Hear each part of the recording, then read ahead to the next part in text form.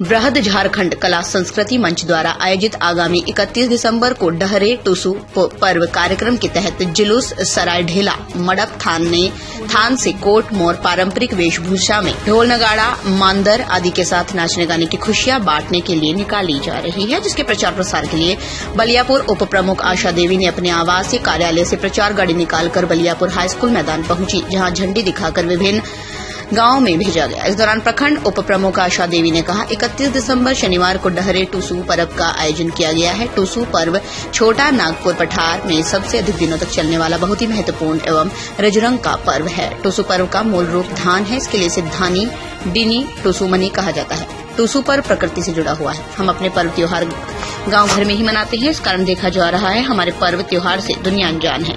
दुनिया को अपने झारखंडी पर्व से परिचित कराने के लिए डहरे टूसू पर्व कार्यक्रम का आयोजन किया जा रहा है, जिसके माध्यम से सभी ग्रामीण माता बहनों भाई बंधुओं से अनुरोध कर जुलूस में शामिल होने के लिए अपील की जा रही है, जिसमें एक लाख से भी ज़्यादा लोगों की उपस्थिति दर्ज होने वाली है। झरिया से सिंधु कुमार की रिपोर्ट। सबसे पहले तो आप लोग को धन्यवाद।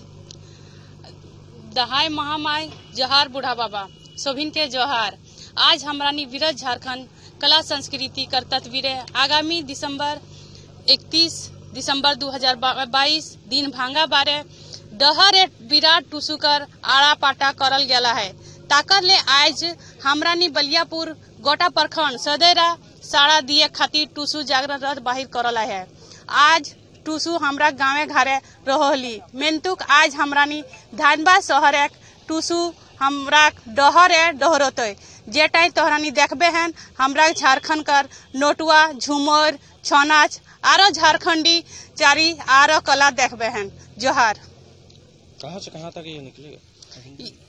ये मेरा अभी पूरा प्रखंड में हम लोग इस चीज़ को रथ को चलाएँगे प्रचार प्रसार करेंगे। जो इकतीस दिसंबर 2022 में टूसू का जो आयोजन धनबाद में हो रहा है डहर है टूसू उसी के लिए पूरा प्रखंड में ये चलेगा अभी।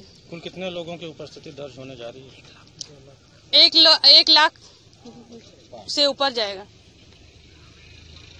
दमदार निर्माण का भरोसा, लाल स्टील टीएमटी बार्स। हर निर्माण के लिए उपयोग, लाल स्टील टीएमटी बार्स। रिश्ता मजबूती का।